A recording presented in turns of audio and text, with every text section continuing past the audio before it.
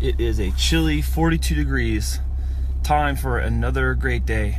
It's Wednesday and it's BNI day. So off we go.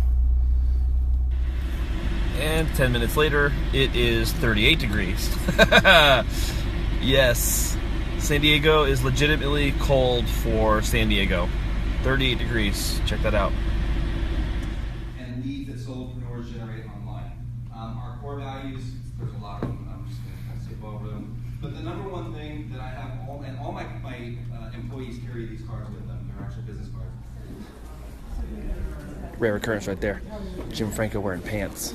It only happens once a year, except this year it happened twice. It's so cold down in Bonita. Today I'm using Samantha's desk. She's not here, so I'm using this futon. Not futon. What's this called? A creden? Not a credenza.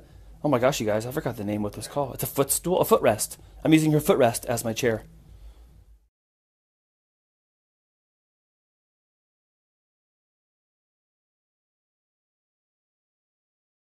Women, especially me, we wear them daily. Yeah, I know.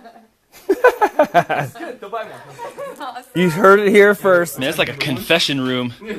This is like when you did that uh, scarf video, Jason. Exactly. It's the same setup. Where were you on the night of December 16th at 9 p.m.?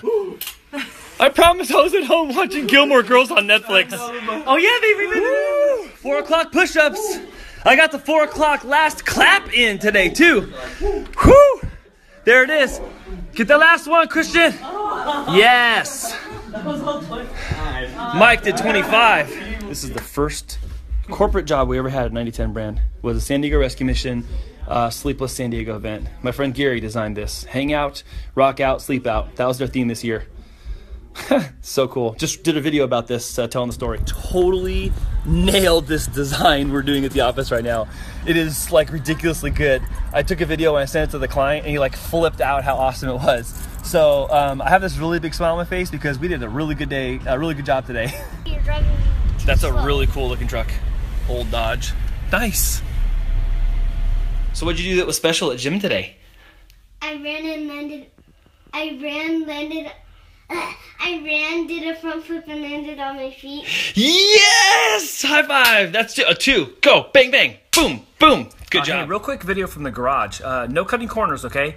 Um, any f- work that you fail to do properly the first time, you're gonna have to go back and do again. So don't cut corners, all right? Do the work right.